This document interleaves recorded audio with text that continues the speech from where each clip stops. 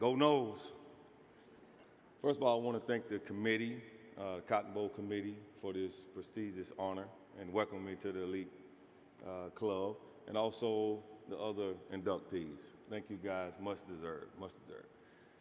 You know, 92 when I when we came here, I had two legendary coaches with me, Coach Bobby Bowden and Coach Mickey Andrews. And what they told us to do is go out and compete and play hard and leave it on the field. And that's exactly what I did.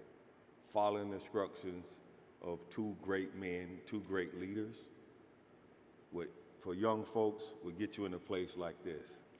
So I'm forever grateful for the coaches, for my former teammates, for allowing me to be in a position like this. And what I try to do uh, as, a, as a coach now is pass that along.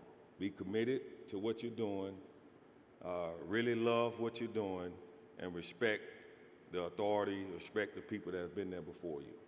Again, thank you guys for coming, for coming out, supporting us. Thank the Cotton Bowl again. Thank the inductees. Forever grateful. Thank you.